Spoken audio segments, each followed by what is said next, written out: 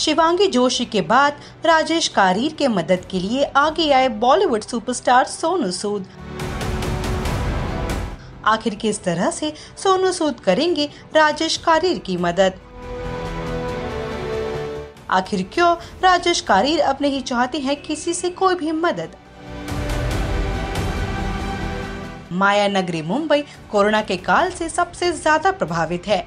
वहीं हाल ही में आर्थिक तंगी से परेशान टीवी एक्टर सीरियल बेगूसराय के राजेश कारीर ने लोगों से मदद की अपील की तो उनकी ऑन स्क्रीन बेटी ने मदद के लिए आगे हाथ बढ़ाया। अब लोगों के मसीहा बने सोनू सूद भी उनकी मदद के लिए आगे आए हैं। स्पॉट बॉय से बातचीत में राजेश कारीर ने बताया, बॉलीवुड एक्टर सोनू सूद ने मुझे आज सुबह फ़ोन किया और मुझसे पूछा कि मुझे किन समस्याओं का सामना करना पड़ रहा है।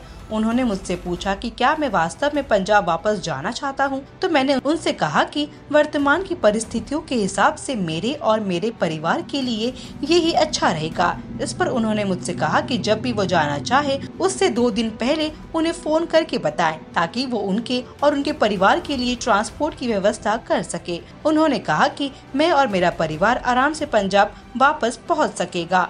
राजेश कारीर की अपील पर टीवी इंडस्ट्री शिवांगी जोशी ने उन्हें दस हज़ार रूपए की मदद की थी। उन्होंने शिवांगी का भी आभार व्यक्त किया था।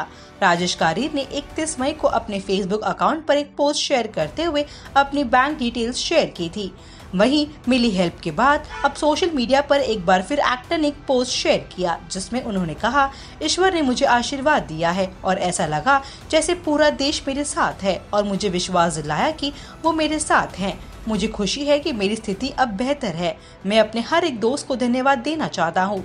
मीडिया ने मेरी मदद की और मैं उन सभी का शुक्रिया अदा करना चाहता हूँ। मैं हर एक भारतीय का शुक्रिया अदा करना चाहता हूँ। कृपया मेरे खाते में और पैसे न डाले, क्यूँकी अब मेरे पास पर्याप्त पैसे मिल चुके हैं। मुझे अधिक धन की आवश्यकता नहीं है। धन्यवाद। मैं अब खुद कमाऊँगा अपने और अपने परिवार के लिए।